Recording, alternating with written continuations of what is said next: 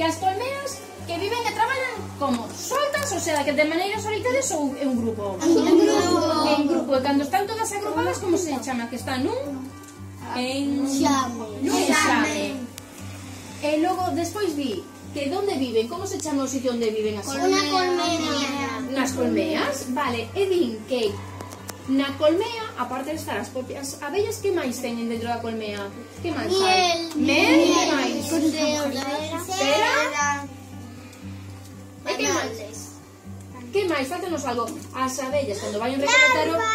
Larvas, que máis? Néctar. Néctar e último. Pole. E pole, fantástico. Imos por aquí.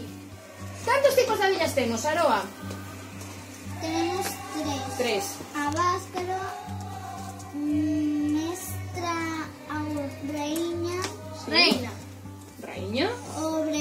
e as obreiras, vale? Que fan as raíñas? Pues... Fan ovos, dixo Mario, poñen ovos. Fan algo máis que poñer ovos? No. se. No. Vale. Que fan os abázcaros? Fecundar, fecundar. Fecundar vale, a raíña.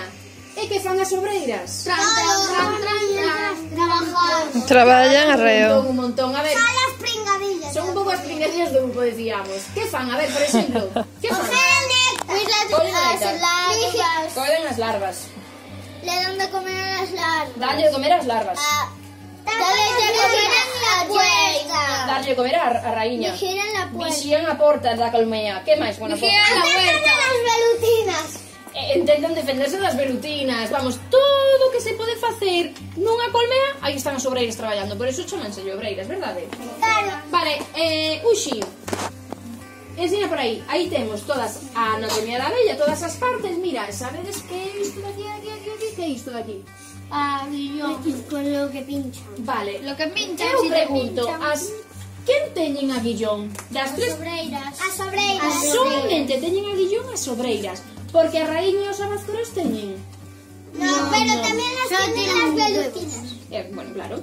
Eh, por que atacan? Por que lles... Por que pincan? Por que pican? Porque, porque se sienten amenazados. Siéntese amenazadas. Pero cuando nos pican, se mueren porque el, el se les saca.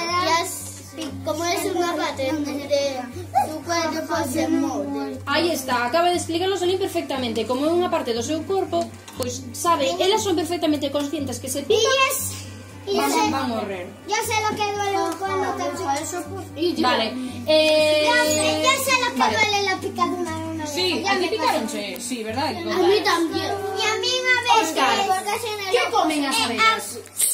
Ven. Polen Polen de néctar. Polen e Que néctar se vale. lea real. Aí está a importancia entonces Eles cando van a buscar unha flor O que están facendo é Como collen o néctar? A lingua que teñen, mirade, aquí le gusta... se vedes aquí, que, que teña aquí o xía, isto de por aquí é a trompa, a lingua, onde chupa conecta. A ele le gusta la mierda aquí, igual con saliva de avispa. Pois es que vale. saliva de avispa. Vale, e que fai o pole? O pole onde o gardan? Nas patiñas de atrás. Teñen, nas patas de atrás teñenlles uns cestiños que se lles chama e, e está por aí o pole. pole. E senón tamén no resto do corpo, no, no pelo, vale? Eh, por aí, entón, agora, temos por aí... Ah, sí, unha cousa.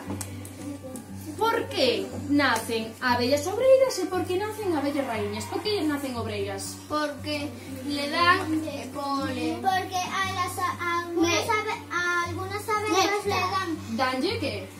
Xelea real. E outras? Néctar. Néctar para ser obreira.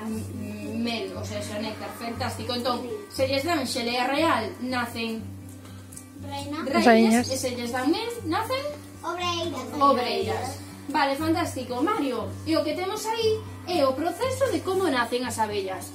Como vedes a raíña, que fai aquí a raíña?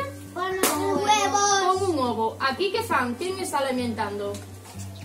Quen está alimentando? Non vemos, chicos. Se vos poñedes diante, nos non vemos. Nos non vemos. Aquí a larva está medrando, non? Crecendo. E que fan despois as obreiras? La sacan. Non, que tapan? Tapan con que? Con cera. Con cera. E logo se ven, a larva segue transformándose e na, eh? Na fe... abellas! Nunha abella. Vale, aquí ves o proceso mellor, os ovos, as larvas, logo chamase ninfa ninfa, os nacementos e xa é unha abella. E ora imos como se fabrica o mel? Cando os apicultores, verdade? Imos supoñer, eh, puxi, ponte o, o, o sombreiro. Como se foses unha apicultora. Ayudo. Es al revés. Tapa a caixa, Óscar, por fin. Entón, imaginade que Uxi é unha apicultora. Bueno, é unha superapicultora. Ah. Tería guantes, vale? Guantes ah. postos, verdade? Claro. Que fan os apicultores? Achéganse a colmea e que fan? Lembrades, que facían? Ah, sacan un humo. Sacan un humo. Pois veñan, espolverei un pouco de fume. panal, a ver como sacas o panal. Ai, que pican uxía. xía. Cuidado que pican. Bueno, sacarías o panal, vale. E logo que facían? Verdades, retiraban que era a capa de, cera, a capa de cera e logo todos estes panais onde os poñían? Hacer secar. En secar? No. Como era? Como unha especie de... Remolino. Vale, de remolino e que facía o mel que facía? Caía, caía, caía. E logo todo se trasladaba a un bote, verdade? Sí. Eh, e lles contamos un segredo. Sí. De que está feito o mel? A parte de, de néctar. las abejas. Eso sabiades? As abellas mexturan o néctar que, que collen con un poquinho da súa saliva, eh? Querías o mel? Que. Sí, sí, ah, pues, qué rico. Antes de probar o mel que trouxe o apicultor. Sí, con un xeco con ledor. Sí, tío, bueno, no paraba de probar. bueno, eh... E isto é todo. Eu penso que está fantástico, non? Sí, merece un aplauso.